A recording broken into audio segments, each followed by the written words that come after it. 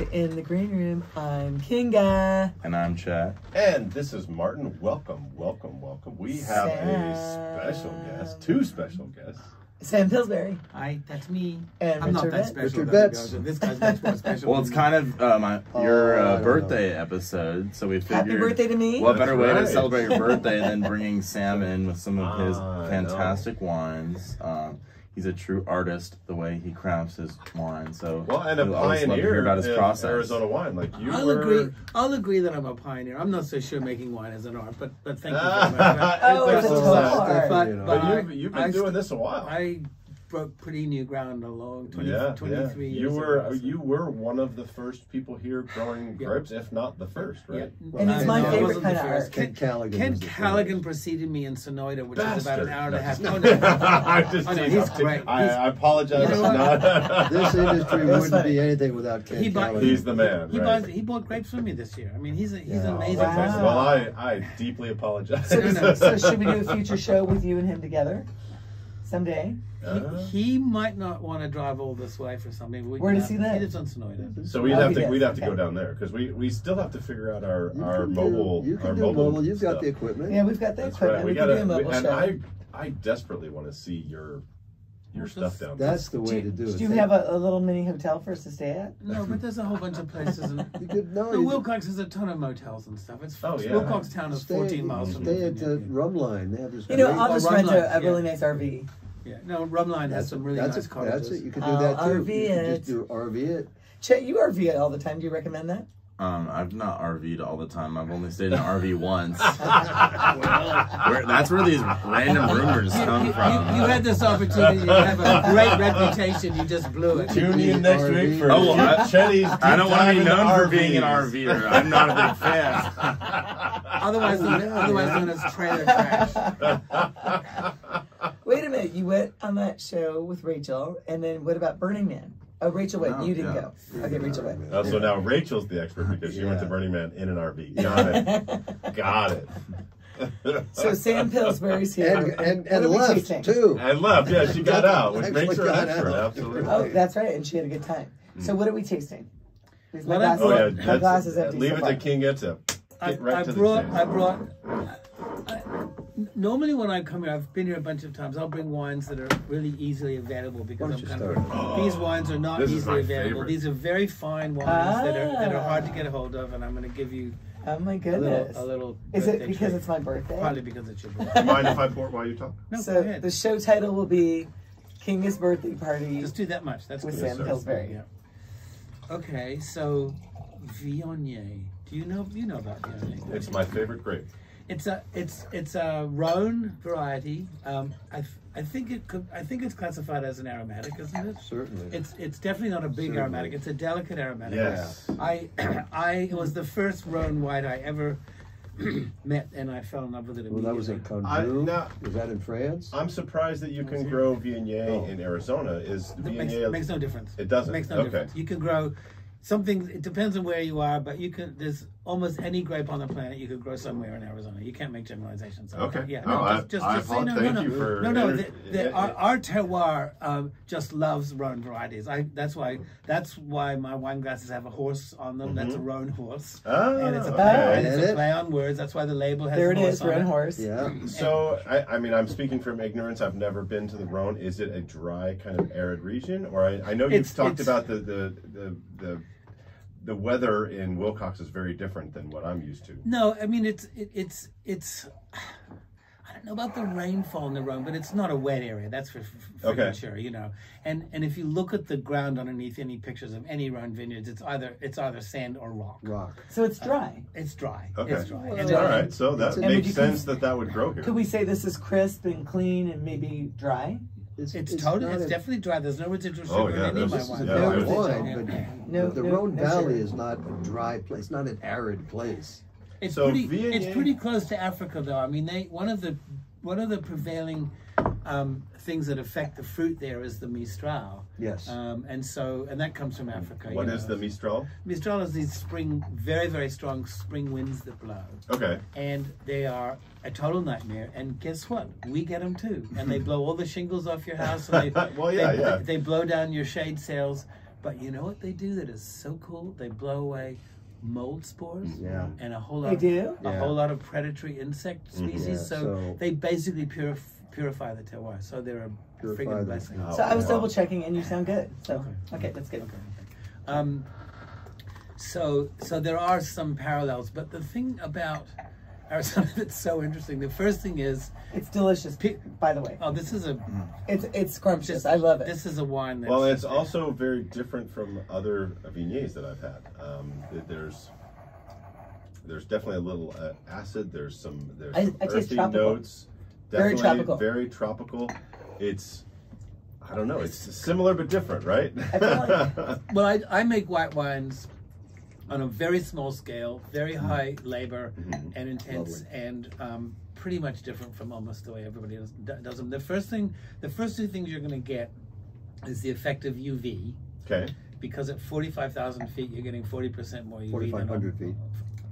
I'm sorry, 45 45,000 feet is a 747. I say, how'd you get above Mount Everest? I could drink at 45,000 feet, but not make wine. Okay. That's how you're gonna feel once you drink his wine. But, but, but what I I'm was flying now. these two things come together about Viognier and what you said about Arizona. Arizona, you can't generalize about it except there's there's two things that are really interesting. The first thing is that for two decades, everybody who was told that I was growing wine grapes in Arizona uh, thought I was a fucking idiot.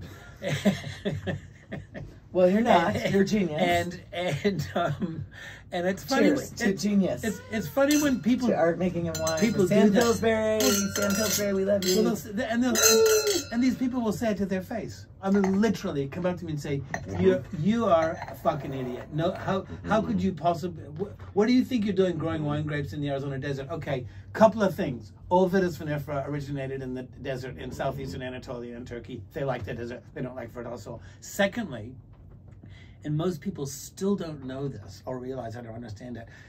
The only way you can grow wine grapes in Arizona is to go quite high altitude. you've got to start at a bottom at three and a half thousand feet, Right. okay, and you can go up to five and a half. It depends on where you are. There are mm-hmm. places where you can be at six thousand feet and it's okay because the frost doesn't sit there, and there's places, you know, it just depends. So all the all the terroir, terroir for growing wine grapes is specific and different to something. But where we are, we're at 40, 43 and a half thousand feet above sea level. We get about 40% more UV than most vineyards in the world.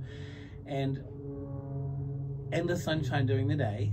So we don't have a struggle ripening the fruit like Right. you do in France. Right, right. But it drops 30 to 40 degrees at night, so everything stops, so it doesn't ripen too quickly. And the longer the grapes hang, the more complex and interesting the wine's fruit's going to be. You Is that why it's so tropical? um, that's partly it, but there's two other things. So the way we make it now is a whole other thing. Um, this tastes like it's got pretty good acid. Mhm. Yes. Like you could cut through Okay, cheeses. this, I mean, oh, right?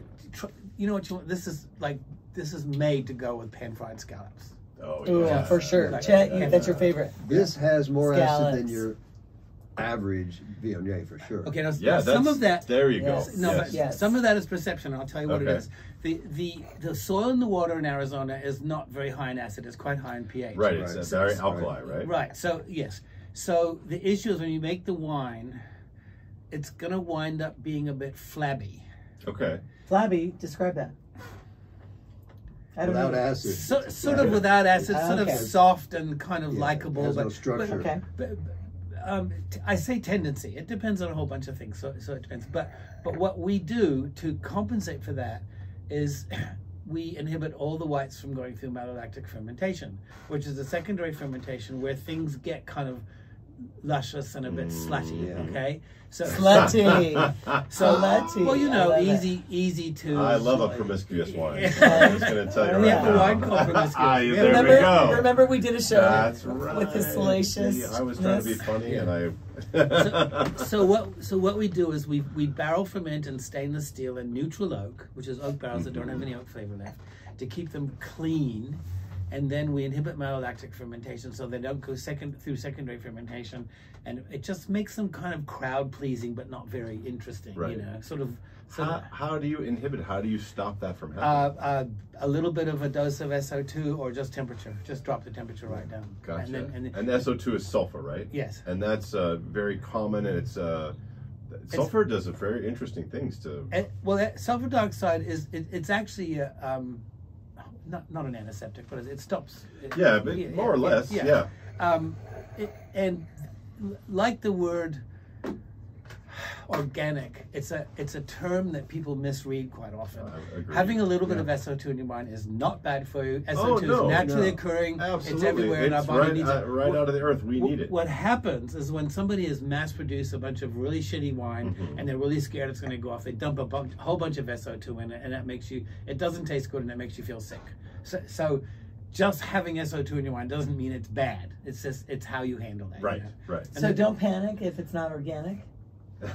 Well, well, you you don't really know. I mean, in actual fact, in the winemaking business, more or less, and this is changing. More people are going organic now. I mean, we've been organic for years, but I don't. Mm-hmm. I don't, I don't want to be You don't wanna pay the certified. I'm not going to do that. I'm not going to do that dollars shit. of- But it's Yeah. or, but yours is organic. Yeah, yeah, you're, but- you're growing better than organic, I would Yes. guess. May very possibly, but the the thing is, what's happened in the business is for many years, people would buy a bunch of, they'd go to some like really shitty vineyard that wasn't managed properly, Mm-hmm. but that had never been sprayed with anything, and they'd make wine from it, and they could call it organic, and it didn't taste any good, but it was Yeah. organics, and that was a way of selling it. Yeah. So so a lot of your top Napa Valley wineries um, have got are making or, organic wines, but they don't. they- They haven't had a Mm-hmm. tendency to promote it because it, it's given wine a bad reputation amongst the cognoscenti. Okay, Well, the ones that have actually said organic on the bottle I've tasted and I haven't really liked. The- A lot of them are not don't know very why. good. Because, well, that's their only selling point, you know. So, so All right, Well, so, uh, if you- it says organic on the bottle, that means no added sulfites. Uh-huh. Okay. no, no, sulfites are different. Sorry, those are two different Well, things. Yes. If I know, but we're Oh, just talking okay. about sulfites. What- Sulfite is is a preservative. Yeah, but that's got nothing to do with organic. Ev- Everything on the planet has sulfites in it. Okay, so Right. you, you can't say Well, wine you itself, Can't, when you, when you- you ferment wine, one of the Okay, products so tell is, us what it means. is sulfite. What does it mean? you can't say no sulfites. You can only say no added sulfites. That's what I said. Yeah, Just okay, said okay. no added. If you buy it, it says organic. Some of these wines they'll say no added sulfites. So you're saying Now, that there's even a if it says difference no added between- sulfites, there might still be some sulfites. There's a No, no, difference yes, of between course, organic yeah. wine Really? and it's it's and- naturally occurring. It's Mhm. everywhere. It's on your fingernails. You know. Really? Yeah. All right, I have Yeah, to back yeah. up a second. Okay. You said the words Congo Shente. I Congo believe, earlier. Shente. Cognoscenti. I, I don't know what that Shente. is. the people of, of the knowledgeable people. Yes, people of the As in know. cognizant. Don't you know? Thank you. Okay. Cognizant. I did teach English literature. And and, and I my, my wife is an English major and I appreciate that so that's why I wanted to stop Oh, and I make thought- sure that I understood that everything you say because I you, you like to th- you throw these words out and I I pretty have a pretty good vocabulary but there it, some of those are a little But- bit beyond me so I want to make sure everybody. have sure a summa everybody cum laude master's degree? I don't exactly. There we go. I Did you don't. hear that, Chet? I don't Summa but cum I have laude. School of Hard No, no, Knocks no, no, master's of course, much more important. Way, way, much more. I So, Sam, how ever, did you ever in- taken it out of an envelope. So, Sam, for the people that haven't seen the show before and they don't know who you are, can you give us a little bit of background, a little bit of history about you? was born in New England. When I was five and a half, my family moved to St. Croix. Um, one of our family friends was living there. He's known as the father of the atomic bomb. really Oh my Okay, goodness. wow. And he always Wow. wore this big long coat. I think he was always grieving or something. right I mean, I was only little, so you know. it was- Wait Yeah, yeah. But I knew what he, I knew what he was. and I knew what it. That's what- uh, what's his name? Oppenheimer. yes, Robert Oppenheimer. What was Oppie? Oppie? Oppie. You were hanging with Oppie. Oppie? Family friend. Dude, Oh, wow. Oh, my never gosh. knew that. And Wow. then, and then I my family my father was not in the military. My family moved all over the east coast of the United States, um, Pennsylvania, Chesapeake Bay, Massachusetts. When I was thirteen, my father decided that he wasn't moving far enough, so we decided to immigrate to New Zealand. Did you watch the new uh, Christopher Nolan film about Oppenheimer or no? I haven't seen it yet. I've been too busy doing. It was good. I have- It was yeah. No, no, very no, no. well made. Oh no, I know it's. It's I, very well we- made. I only finished picking on Thursday last Yeah. week, so I'll, I'll don't. Yeah, it was a Well, yeah. If you had seen it, this year, right? if you had seen it, I wanted to ask if you no, thought in the end, his not really. In fact, I think similar. we, we picked, Well, we let picked him the do it. last food on the same day. This year, no that year. kidding, because it seemed like a very different year. It was exact opposite. Mm-hmm. It rained and it was cool all last year. It never rained at all, and it was hot as shit this year. right, Yeah, right. right. But back to your history. So Okay. you So, so I moved to New Zealand when I was 13.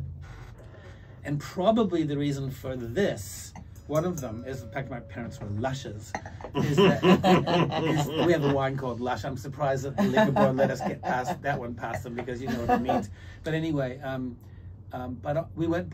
You couldn't fly to New Zealand in 1960. Right, right. You had to be on a boat. So we we went by ocean liner, and every really? night there was a Oh. carafe of Chianti on the table. And you were 13 and you And I was 13. Well, we were on a boat. My parents were liberal, you know, Yeah. as well as being alcoholics. well, and, and, And And you said yeah. someday I'm going to be a winemaker. No, I didn't. I just loved it, and I've always Uh-huh. loved wine from that day on. I've just loved it. I loved holding the wine up to the light and seeing the light shine. I love that little buzz that you get. I love the way it goes with food, and so I've just always loved wine. Find us, I'd make it. That's a proper upbringing. Yes, and when you were living in New Zealand, did you drink Sauvignon Blancs? Yes, and here's another funny thing. I'll tell you this funny story.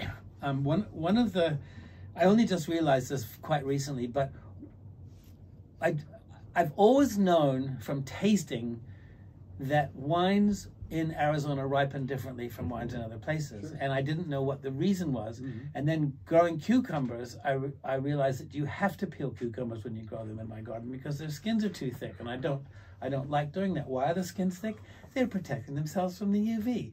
Guess what they do to grape? Same thing. I was going to mention that. And guess Same what's in thing. guess Thicker what's in grape? skins. Guess what's in grape skins? Yeah. Yeah, yeah. Tell us what's Results. in grape skins. result in I mean, all the all, A lot of the really good things that are important, apart from Yes. tannins and tannins, so things that affect the, the flavor of the wine, the, the texture of the wine, the wine, color, right? Color. oh, totally, because you know all the, red all the, wine, all the pigment red gra- wine skins, grapes have so white yeah. juice in them. They're So not red. basically, you're packing thicker away skins all of is a this good thing. knowledge. Well, I'm learning all this stuff, but I'm still Yeah. going by instinct because one of the reasons I bought this land in this completely insane How many acres? 100 acres of land in Cochise County, which is a mm-hmm. very, very high altitude mountain valley and down by the Mexican border. And like I say, a, it's could be considered the middle of nowhere, really. oh I mean, yeah, oh no, try right? getting getting anything. you know, right. People, parts, you name it. Mhm. Um, but um, but but I had tasted this wine that had come from a, a vineyard near a little vineyard near mine at the time. Okay. And it was a Chardonnay, and I never tasted anything like it in 20 Tell them who made that Chardonnay.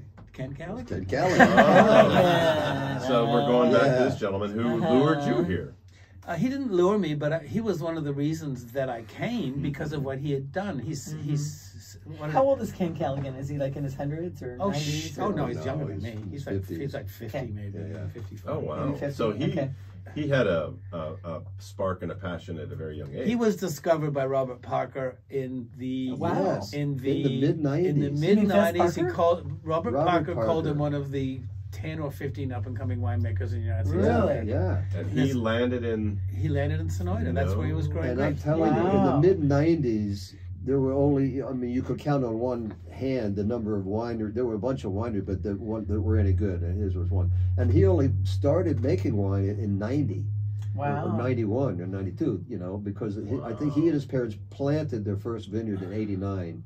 If Mhm. I'm not mistaken. It came I, have been I 90, came yeah. along um, in, And it was in like 10 2000. 10 years yeah, later, yeah. yeah. So just a few. But years yeah, to, Wow. and then to have Robert Parker praise Kent Callaghan in like '95, you know, this was Mhm. maybe his third or fourth vintage, you know, from a place like Arizona. That's amazing. Incredible. That is Wow, that amazing. That's amazing. extraordinary. That So, is so I was in the middle of explaining something about UV. That's right. Yes. UV. So anyway, so I I planted in I basically came down because of the taste of this wine. I bought 100 acres and planted 14,000 grapevines.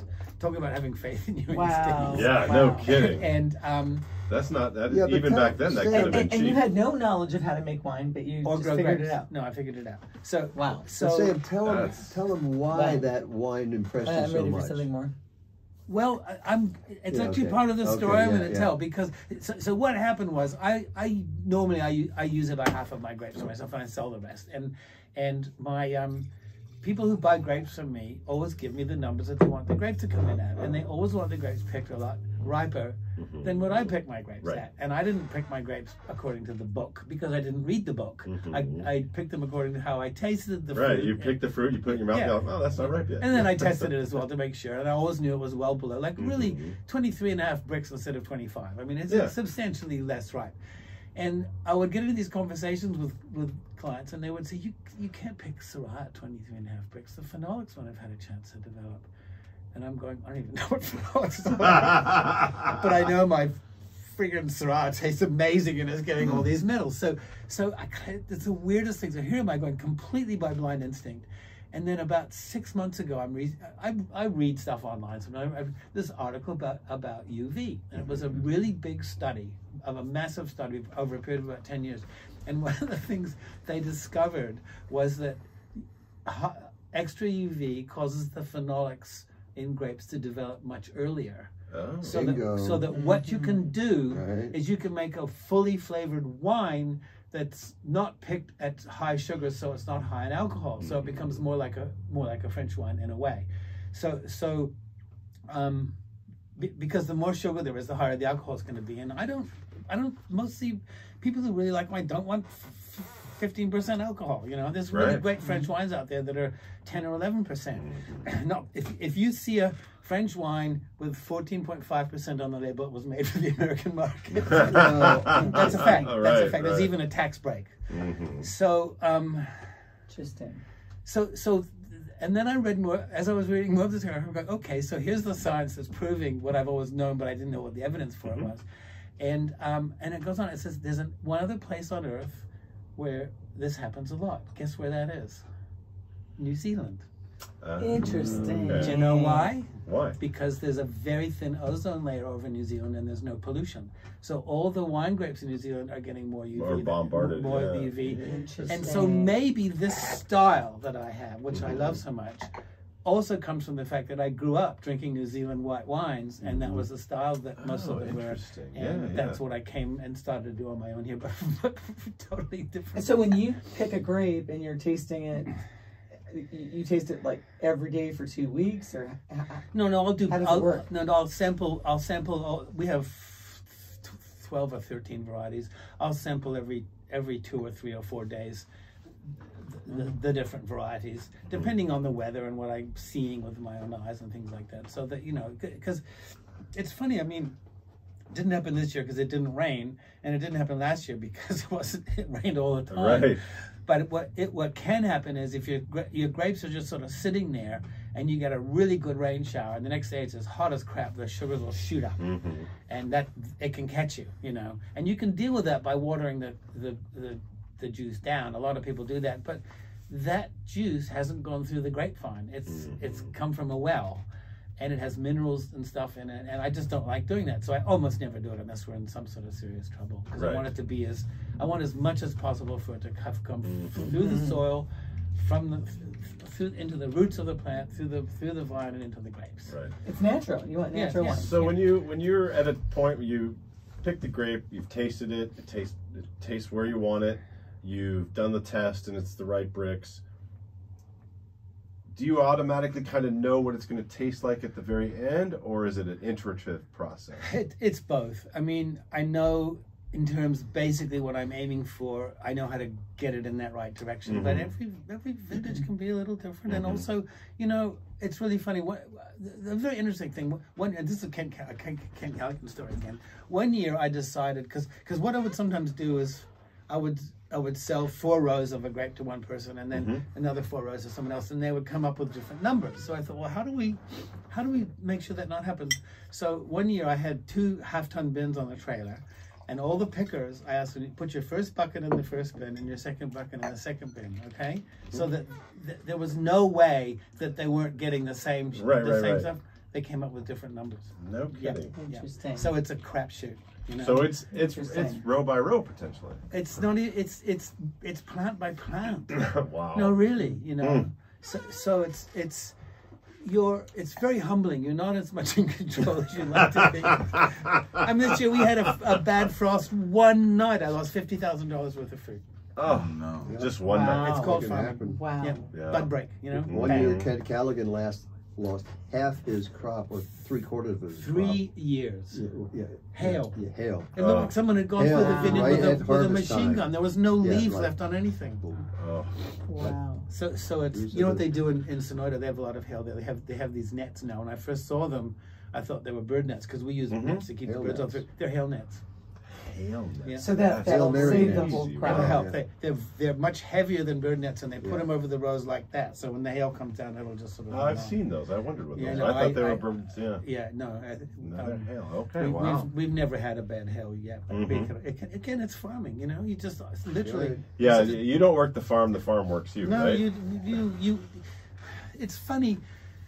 Arizona. One of the things about Arizona that's weird is that we're, I think we're the only place on the planet where we have a monsoon at harvest time, and that's the one time you don't Yeah. Yeah. Right, right, Oh, right. But I got to tell you, you you can you can't prepare for it. You've got to be ready for anything. Once again, we had in three months we had half an inch of rain here. Mhm. The year before it rained every day. Right. So you all your your spraying regimes, your your um, um, vine care, your Mhm. your bunch dropping, your foliage management's totally different. And if you don't do that, it all gets screwed up. So this was a change of careers because uh, you were initially Making movies. making movies, and from New Zealand at 13, and enjoying wines and uh, drinking your parents' wines. Uh, how did you go to making movies? How did that happen? Well, it And was, then to wine. It was the same as with wine. I mean, when I, I was very fortunate. When I started high school in New Zealand, I had an English teacher, Bill Griffiths, mm. who loved food, loved wine, and loved movies. And he got me, you know, into. We would sit and watch those European movies with this black and white 16 mil projector going rattle, rattle, rattle, rattle, you know, with the screen and Yeah, everything like yeah. that. And so I just loved movies, and I love food and wine, and and so I made movies for forty years, and then I decided I'd do food and wine, which is what we do now. That's but amazing. Just because I like those things, that's all. What if you started Now, movie would you ever make a wine? movie on food and wine? Yes. What What about movie theaters with his wine? Well, I'll tell you something that that's come up quite often. I just think they're different activities. If Mm-hmm. you're eating food while watching a movie, you're not watching the movie properly. I know people like that. They do Okay, these dinners and they get alright. served and everything like that. So they're I- drinking I don't. eating. I don't. No, no, no. I know. but I And- dr- but I do like to have a glass of wine. I'm friends with uh, the Harkins, Dan and Karen Harkins, I- I- and I do like to have a glass of wine, and they should have your wine at their I- theaters. oh. No, I totally agree that every time I go to one of the theaters that does the full dine-in service, I get so distracted. It's, it's, Yeah, it's, it's- distracting. I, I don't like it, and it's not. My dad was the worst of all those people. He would drink so much wine he would fall asleep after a movie. you know? And and so no, I, I want to go to a movie. I want to go to a movie. You know, So, do you have any? Do you think you'll ever make a movie again, or have you retired from that I don't really want to. I did Mhm. enough. I made. I must have made. How about I fund the the documentary about No, Sam but it's Pillsbury? honey. It's a different kind of work. I, Right, that's what I was wondering. I, 'cause- I, I, I probably made twenty documentaries, mm-hmm. maybe fifty commercials, Well, let's and do one about movies. you. You know, It'd be funny. well, you can make a movie about me, but I want. okay, okay, let, mm-hmm. let's do it. I mean, I get friends. It's really fun. I get. But I need you to be the actor in it. Oh, I'll do that. I just don't want to write it, produce it, and direct it, Okay, and that's raise fair. the finance Okay, for it. okay, That's we can fair. do it. friends will send me a screenplay and say, "Would you ever look at my script?" And I go, "Okay." And then I, I, when I look at their script, I can't do this.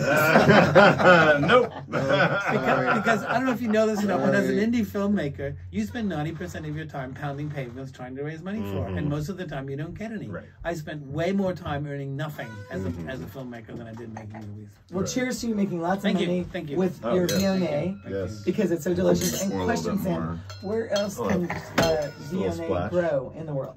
Well, Thank you, sir. Besides for, here in uh, the next Arizona. I don't know. Honey. That's the- I, I don't know, sweetie. I'm not a. Cheers, everyone.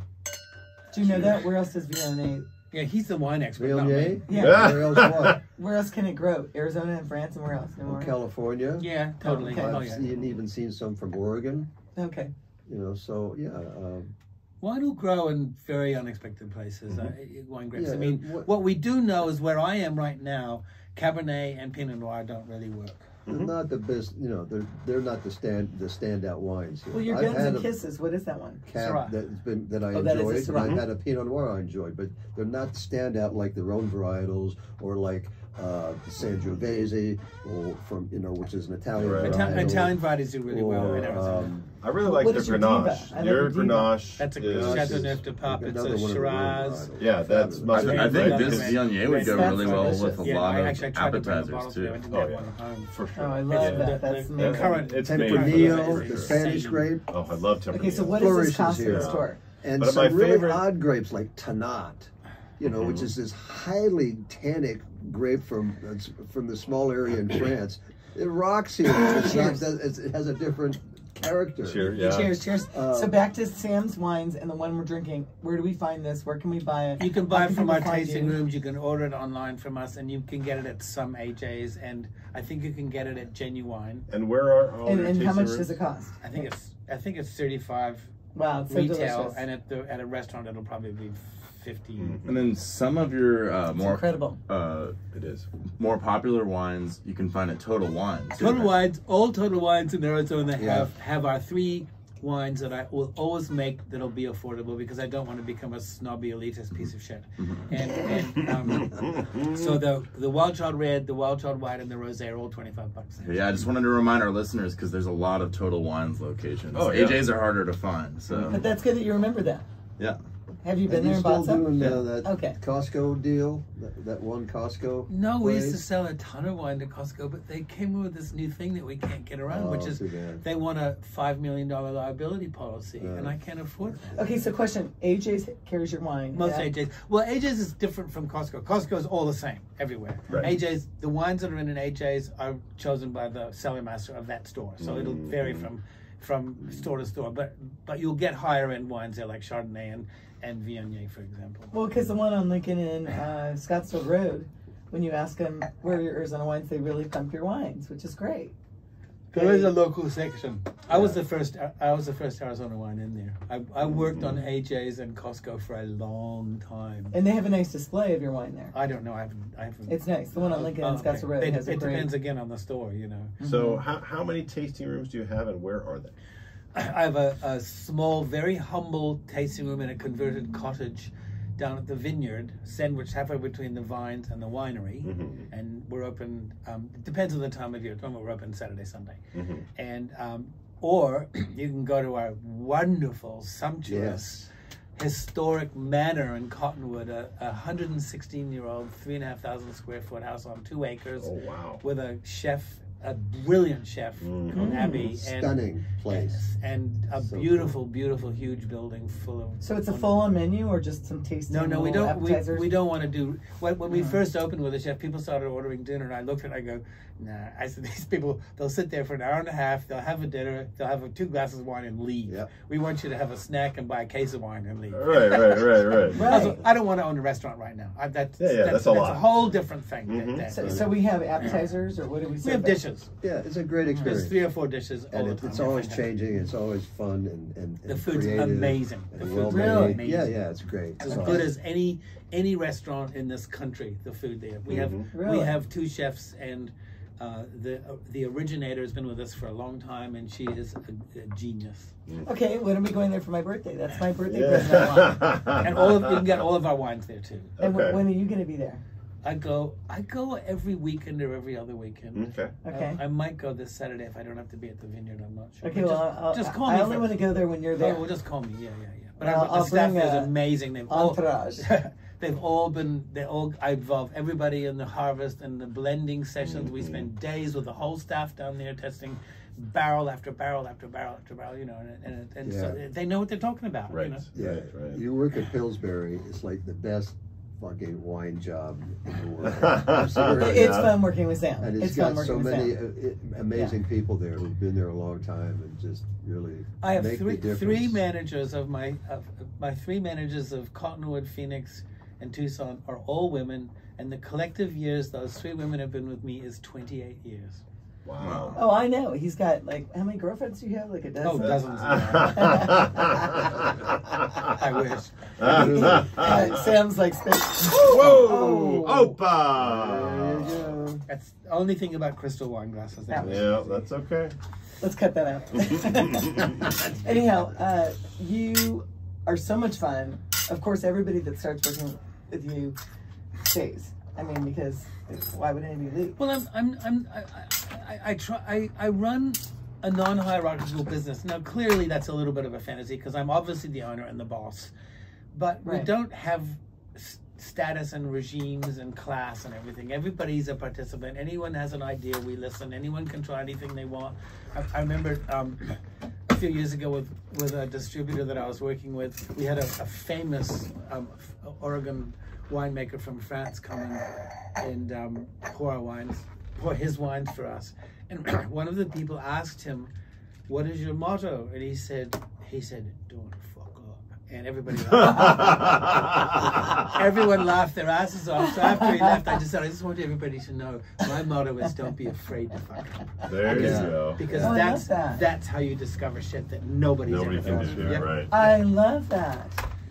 And you said that to all your employees. Yes, and I don't don't don't make the same mistake f- you know, three times in a row, but don't Right, worry about right, making a mistake because you know how many things have been invented by mistake. There's like a thousand, you know, Right. air conditioning, friggin' post-it stickers, you name it. Well, we've got two or three wines that were invented by mistake too. Like something bad happened, everyone said, "What are we going to do?" I said, "Oh, let's try this." And let's, Let's find try out, you know. this. Yeah, yeah, yeah. And, and you know, think, "Oh, no one would have thought of this shit." You know, it's really weird. So what's on? And that's why the only way to actually master a task is just by doing because you learn from those Yeah, mistakes. no, of course, and, Yeah. and that's the whole thing. You don't learn anything from a success; you learn from a mistake. That applies that that applies with my music production. Oh, yeah, like I've sure, had songs where like I was just experimenting and I, you know, put, put this note in this spot and I didn't think it was gonna come in anything and I hear it and I'm like, oh wait, that's amazing. So it's the same kind of process It- where you could just happen to find the right, you know, chord progression it- that sounds amazing. Oh, oh, Charlie, I, I've I've done that too. I've, I've played in bands. Um, the the the thing that's um, I'll tell two. I'll try to tell two stories quite quickly about mistakes. And the first one is We've got time. okay. Is um, It's all about you. We got We time. start- we got wine. we started. We've got time. We and started, we've got wine. We started. We tend to start picking way before sunrise because I want to finish picking Yeah. before it gets hot. It, it's not good for the grapes to come in warm, and it's not good for people to get hot after lunch because they slow down. You know. So we're starting at Smart. three, 3 a.m. with uh, miner's lamps, and uh, I started this. I, for some reason, I couldn't stay. I had to go to the winery get to get ready for the fruit to come in and weigh it and everything. I, I um I started the crew on this one block that we have where there's four different varieties growing in that block. Most of my blocks have just have all one variety, or maybe they're split down the middle. There's like 1,500 vines in each block. So I have I have uh, Chardonnay, Sen- uh, Symphony, Malvasia, and a little bit of Pinot Gris in this one block. And I started them on the Symphony, and I said, start here, and when you get to the end of the road, go that way. Well, well, I tested this fruit at 23 Brix, and it came in at 17. Now you can easily be one or two points off because you're just like I say, every vine has a different sugar, sugars and mm-hmm. stuff in it. So, so I don't know quite what to do. And everyone, you know, so I just, we'll just, you know, just ferment it, put it in the tank, and we'll see. And then a couple of days later, I was walking through the field. I saw they, they went to the wrong variety. They they went they turned right instead of left at the end of the road. Oh no. And um, so everyone says, "Well, what are we going to do?" And I said, "We'll just ferment it dry, and we'll see. We'll figure something out." I think um, you can actually make a wine from from 17 Brix fruit. By the way, Yeah. nobody ever does in this country, but you could, and it happens. Um, anyway, um, so then with the end, towards the end of our blending session the next year, we made up the, the only way we can make a wild child white because what I do is I I use I, I make the varietal and the high end wines all first from the fruit, and then with the leftovers I make wild child white and wild child red. And it doesn't I don't dump it. We still blend. Right. We've won double golds for our wild. In, Oh, fact, yeah. in fact, for this one, what I'm talking about, we Yeah. got a double gold for it. Anyway, so we came. We had this wild child white blend, but it was it had a little bit of residual sugar, and it was too high in alcohol. Mm-hmm. Everyone said, "What are we going to do?" And I said, "Put that 17 Brix, motherfucker." There you go. See what happens. Oh, sure. Oh. Double gold San Francisco corner. There you go. Too So you had one that was smart. to this, This is one the- So that- balance it out perfectly. Oh. This is where the art comes in. well, okay, I will. I will this admit is where that. the creative No, no, no. Ble- blending, I think, could be an art because it's so counterintuitive. I'll tell you two more Yeah. quick stories about blending. One of them was we used Syrah in four blends. So we'd finished doing our Syrah varietal and our other Syrah blends, and we were left with these four barrels. I think I told you this story. And every time we tried to put any bit of any one of those barrels in one of these blends, it made it worse. Hmm. So they're sitting there, and I says, I call them orphans, and I was sitting there, and I said, "What do we do, Sam?" I said, "Try blending them all together." Just- Gold medal, San Francisco right, right, right. Four wines that weren't what they need to be. But Yep. That's what, and I, that's what I love about like the Meritages, like the, Oh, the, yeah. the blends, because the winemaker has so much more latitude You- you- to create something. And, and and and you know what we do is we blind taste every barrel. Like we Mhm. like 300 barrels, we'll blind taste each one. We'll make notes about all the different. So yeah, so you're not pre, pre, you don't have preconceived notions. No, no, about we the like that, varietal, but I'll tell you what happens, and you can say, okay, let's make our best Syrah possible. So you Mhm. take the, the the 12 best barrels of Syrah and blend them together. Doesn't taste like anything. Mhm. Mm. Pull Yep. two of those best barrels out and throw a couple of the crappy ones in. Bingo! There you You go. Now you go. It's So- interesting. So, so yeah. it's really counterintuitive. And I'll tell you one more story about blending. Um, we, We we've- want to hear all your we, stories. We've had so much luck with our wines, and and um, and I didn't know this at the time, because of not having enough money, we don't have enough of anything. So we, we didn't have enough equipment and enough facilities to pick all the Syrah in one day, which mm-hmm. which we which was I think most people do, or a lot of people do. So we would pick each variety in, at a different level of ripeness.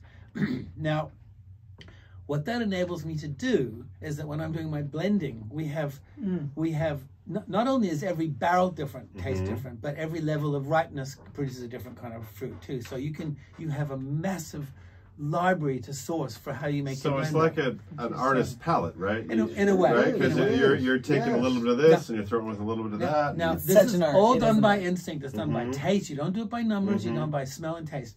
No, this is a really funny thing. Another thing that I just read recently, like this thing about the UV, was um, these really rich guys decided they were going to try to figure out what makes the really great wines on, on the planet great. So they put they got like ten or twenty of the greatest wines ever made, and they sent them to the lab. Guess what the lab discovered? What? Every single one of them had their fruit picked at different levels of ripeness. Interesting. So there was no. Interesting. I mean, it was something that I did because I because I didn't know better and I didn't have enough money. Okay. Wow. So it You wasn't did it on out of necessity, but Yeah, it turns out that that makes it more complex. It sounds like. Oh, no, there's no question. It's it's a huge. I mean, when you're blending, when you have all these different levels of ripeness, every barrel tastes different. So you have the, Right. you have like if you have 24 barrels of Syrah, each one of them tastes different. It gives Yeah. you this massive amount of, Yeah. of, of stuff to play around Mhm. with. It takes a Make- long So time. one of the which is why main people themes- don't it. By the way. Right, right. make a one of the main themes from our show today should definitely be don't be afraid to make mistakes and don't be afraid to experiment and try new things because you might find that next blend or that next It's- song that's perfect. It, there's two reasons why I do it. One of them is, be, um, well, well, the main reason is out of ignorance. The other reason is not having enough money, you know. But um, I can't remember the third reason. I've still got brain fog. But you don't want all the wines to be identical. No, Wait, no, let's no. uh, let's Well, get a little introduction to this Syrah. Oh yeah. yes, Speaking right of now. Yes, what- speaking what is of this? Syrah, Here we go. Here it is. Yes. Now this is a this is oh oh I know what the last thing I was going to say is um, the guy that said don't f up. Yeah. Well, he was working for a really big guy. He wasn't the boss, and some of their wine was in these huge tanks. And if you fuck up a ten thousand gallon tank of wine, there's a serious problem. yeah, yeah. If you fuck up a barrel of wine, you can kind of deal with Yeah. it. Right, so right, right. give him give him a break there. So, Big difference. yeah. Yeah. Um, so, So this, is Romano Syrah. yeah, this is named after the vineyard manager that worked for me for 15 years, planted all my vines, and he got. We were we were removing a beehive from under the tasting room, and he got stung 12 times, and Oh he my goodness. died before he could get to the hospital because he had Oh, an no. anaphylactic reaction. Oh, Yeah. So Oh, we no. named this wine after him. It's a Syrah, and it's an unusual one actually. it is. Um, It's got a very sweet nose for a Syrah. Stunning. Yeah, well, I don't make. It's really funny because I grow this Aussie Clone Six of Shiraz, but I don't make a Shiraz style. I don't want that oak and that oak, oak Right. and stuff. So I make it more in a French No, there's style. a lot of like raspberry, sweet raspberry. This is interesting because not all the Romeros have this blend, but what we did on this particular year. Do you, do you, you know what a Côte-Rôtie is, don't you? no. Okay. Oh, that's another interesting story. So you basically named this. I just read the back. You named it after, after after Romero. and and and, the and he died. That's so special. Yeah, well, we we So have if I- we so- have um, Malvasia Bonnie Lee. She died of cancer when she was working for me, and so, So do you have to die to name a bottle after Come and work for me first. You know, we'll, we'll see if we can knock you off. Um, You too. That name of the bottle. We've been trying for years. so I don't know. so, so this is a this is a sister wine to a Syrah that I make called Guns and Kisses. I love this wine and Guns. Guns and Kisses is an experiment that I made, and I'll try to tell you this story. Cote mm. Roti, in French, the rough translation of Côte-Rôtie means burnt hills. So I saw mm. I saw this name on a bottle of mm. wine that had a, a whole bunch of them had two hundred fifty dollar price tags, and I thought, burnt hills, that sounds like my place. Let me give it a try. So we tried it, and what you do is you co-ferment Syrah with a little bit of Viognier. Interesting. And I have a theory about how that happened. I mean, It happened because some farmer planted grapes and then he did a field blend, and everyone said this tastes really great. What did you do? You know, okay.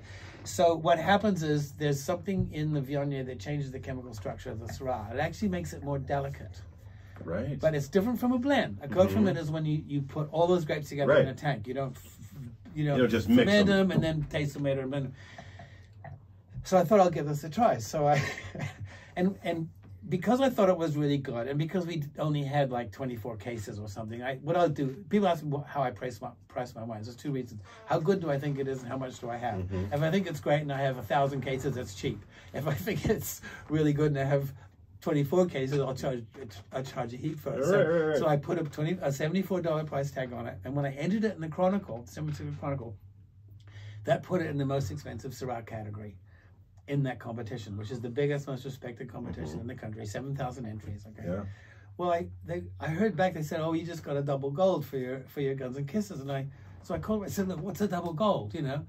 They, she said, mm-hmm. "No, it's not two gold medals. It's when all judges in a blind tasting give it a gold medal." Oh wow! And, so you know, double. oh, that's so when you wow. see 95 points, that's one judge. When you see a when you see a double gold, that means maybe five judges. I Interesting. So I said, "Oh, that's interesting. So tell me this. That was the most expensive straw category in the country. Um, how many entries were there in that category?" And they said 55. And I said, "How many double golds were there?" Three. Three. Wow. So the first the first Côte-Rôtie I ever made was one of the three top Syrahs in the United States of America. high five. And and we've done it four times. This is not Impressive. Now this is okay. not uh, there's a reason for this this is story. not Now, a- this one is not really interesting. ferment, So it but has such a sweet nose, but on the palate, Bone dry. I'm super dry. There's Yeah. no No- sweetness no, whatsoever. I was There's about to actually say- maybe some cranberry or something like like. I was about to say the contrast between the nose and the actual and the palate actual is palate is wild. The, the reason I told you that Guns and Kisses story is that when we made this blend that year, I had made a lot of Coferment of Viognier and Syrah, Mm-hmm. and we didn't want to make a hell of a lot of it. So what I did is when I did this this Syrah blend, I did some barrels of Syrah and some barrels that were Coferment with Viognier. So it's got that quality. It's Oh, really? really mm. yeah. So it has some It's- barrels. it's got about 30% 100%. Oh, okay. I taste. Cool.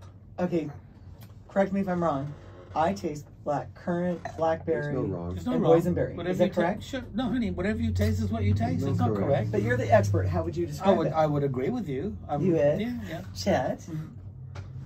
Chet would think it's a good completely- review. Chet, Chet would completely disagree.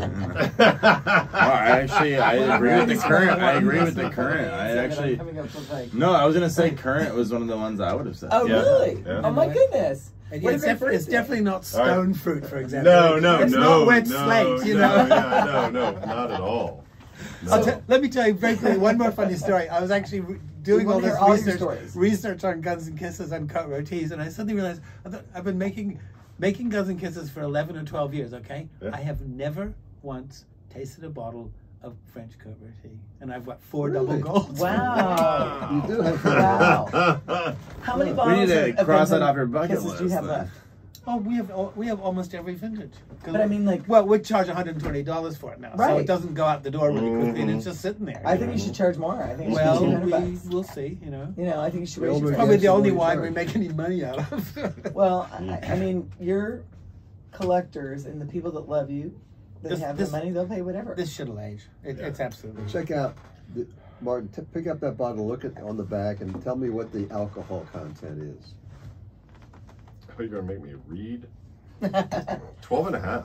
Can you believe it? Or maybe, so if you buy maybe a 12.6. case My, my, I don't have my 12.6. of Guns and Kisses, That's, that- that, that's what I like my reds. Some of my reds are at 14 and a half. Yeah. Sure. I like doing lower alcohol and I pick early, but I'm gonna tell you something. We blind taste our our, our blends, Mm-hmm. and if it if it if if I make the best possible wine out of all those barrels and it comes in at 14.5, that's what it is. Because I'm not is, doing right, it by yeah. the numbers, I'm doing it by Mhm. taste. But more or less, we're like 11 and a half, 12 and a half, 13 and a half. Yeah. That's very tasty. That is a very it is tasty so Syrah. delicious. So you It's- don't What have would to you pair it a with? high alcohol wine to have some fruit Mm-hmm. and some Mhm. some structure Mhm. and Yeah. balance and you know. Yeah, because Pair it with- Stunning. What would you pair this with? I would have to say normally Syrah is not my favorite. It seems to be more of a bland grape. It, it- Oh, it's one of my favorites. I love Syrah. No, I well, love for Syrah. for me, but Well, it's- this is When it's mass produced, our Syrahs. Yeah, are when it's mass-produced, Yeah, that's yeah. what I That's mean. true. No, no, we Yeah. again everything is in barrel. It's we Mhm. we don't do this shit in tanks. You know, I mean, if you look, Mhm. if you go to a, a really big winery and you see these great big stainless steel tanks, and that tank's got Syrah in it, that's what the fucking Syrah is going to taste like. You can't do anything with Right, it anymore. right. We have all these troublesome barrels that are a pain in the ass. They take, they take forever to maintain. They take forever to blend, but it makes for better wine. yeah. So, what would you pair this with? Like, I wouldn't would you, pair. I wouldn't tend to pair it with the Well, obvious, which is it with? which is a pan fried steak, for example. I would Mm-hmm. tend to go for something a little more. a, a little less strident in its in its strong flavors. Um, maybe a, a kind of some kind of beef or or What about lamb. hamburger?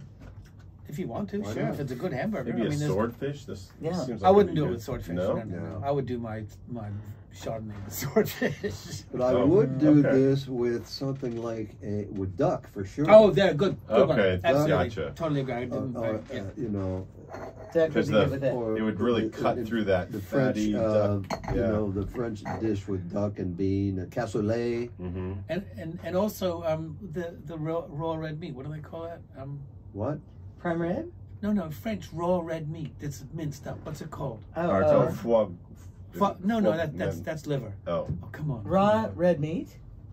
Oh, raw meat. tar- It's a French. yeah, yeah, it's a I know, French. I I know. know. We can you think got of. Oh, me. come on, Richard, what is me- it? Now you got me going. I, Yeah. know I don't eat it, but word. what is it called? It's uh, tartare. Uh, tartar. Oh, I Oh, you did it. I, I said that. Oh, you did. Oh, yeah, good, boy. Okay. yeah, Ch- Chet's a, a foodie. This, okay, this would work Wait, with this the one's a foodie. Okay, Yeah. no, good. I good, mean, love it. he, he never does anything Yeah, else that's by my accident. heart. Are you kidding me? Right on. I mean, the fastest food he does is Uber Eats from No. like a five star restaurant. I, w- I will say, to be honest with everybody, this 2020 uh, Romero's is a one-off. The Mhm. 21 does not have any Côte-Rôtie blend in it. So Oh, okay. It's it's, uh, Mm. it's good, but it's I don't think it's quite as good as it Okay. So you're saying this is the best? It's. I think it it's pretty good. is the best. I And love I'll it. tell I you, love you it. can take Syrah, which is a very popular grape in France, of Mhm. course. Um, even in within France, you can take a Syrah from the northern Rhone part. What that's all they plant Mhm. is Syrah. That's where Or Côte the- Rotis come from, Yeah, that's the where way. Côte Roti Yeah. comes from, or the southern part, or you know, and they're going to taste different. Mhm. You know, d- depending on the terroir or the clone of the grape. Some Syrahs are real earthy and and and. Um, you See, know, this isn't particularly no, earthy it's as a- not. as a this is a Syrah. No, different yeah. style Yeah. of And Syrah. I, I- is- I haven't dabbled is- much in the I Syrah, like it, so this but is We, interesting. we, There's I a have some earthy huge- Syrahs too, like the Mhm. 20, A lot of the different styles of 21 Syrah. uh, wild child red. Yeah, Mhm. earth and leather. You know. Yeah, Yeah. you've you've brought that one here before. I I'm pretty so. sure because I remember the leather Child one. red. And it- Oh, you've brought that here before. Yeah, yeah. That was the first. Okay, Some Syrahs you The gotta way have a we stank met. to them, you know. is a friend. stank yeah. Do you guys want to hear how we met? A friend of Don't ours. tell them everything. I, I, oh, God. oh yeah, yeah, yeah. No, they can't know anything. We won't tell them anything. But uh, a little snippet we can give them is a friend of ours uh, brought all your wines, like three wines, to an all-girl wine tasting, and uh, A friend who's a neighbor, by any chance? and wa- and was Sam the stripper?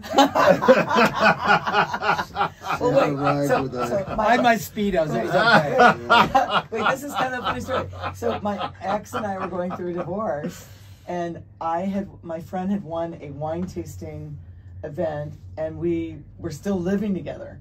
And my friend had the wine tasting event at my place, and it was all girls. And I somehow asked this person to stop by for this wine tasting because he likes wine.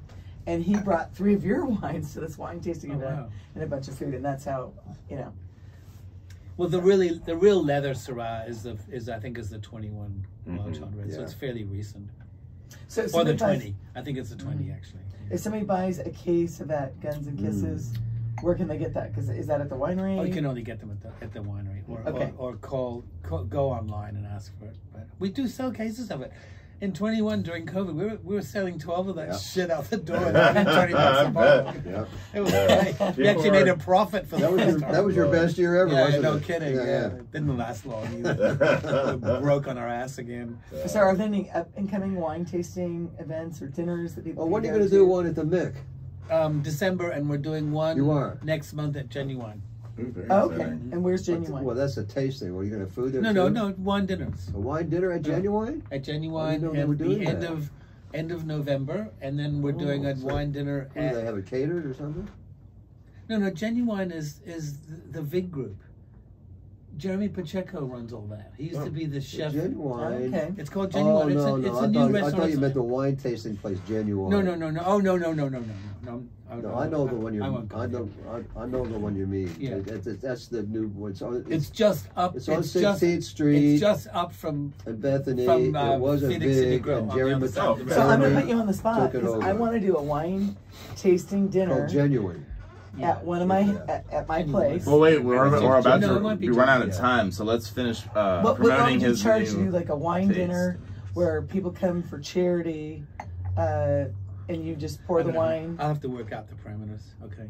Okay, okay, so we'll talk Look, about I it. can't just tell you a number. Like, Okay, we'll- I mean, we'll be talk a about it. minimum of One million A min- a dollars. minimum- How much you charge an hour? a minimum of five hundred. Okay, okay. Depends on how many people. That's five hundred thousand. That's Right. right. One million. One million dollars. Well, it was awesome having you in the studio again. If you're listening, uh, go buy local wine. Oh, go buy Sam Pillsbury, Pillsbury. wines. Thank you. Go buy uh, They taste amazing, wine that and you're is the supporting best, local. and and it's also organic and it's healthy, and you're also It's also vegan. It's also vegan. It- No, Yeah, man. no And beef product byproduct. No, Right. Well, people sometimes use egg egg Egg uh, whites for egg, fining egg whites stuff for like fining. that. We Yeah, don't find yeah. our red. No so there's- kidding. Yeah. So there's, I didn't there's no end. So I mean, Also, most wines are vegan, bladder. but they won't. They Right. won't. Yeah, or fish bladder. Yeah. Fish They- bladder. Yeah, Yeah. dude. Yeah. What's up? What it does is it clings to some of the particles if the wine's cloudy and they drop to the bottom. But we don't ever have cloudy reds. Our reds roll. Okay, well, Oh, that's interesting. I'm ner- learning new disturbing things every day. well, Me, me too, buddy. right, right. so in closing, what, If you're what, what paying where do you attention, see you your will. wine going in the next couple years? Like, do you see a wine? Uh, you mentioned that your wines can be kind of. Was it what what was that word you used? Slutty.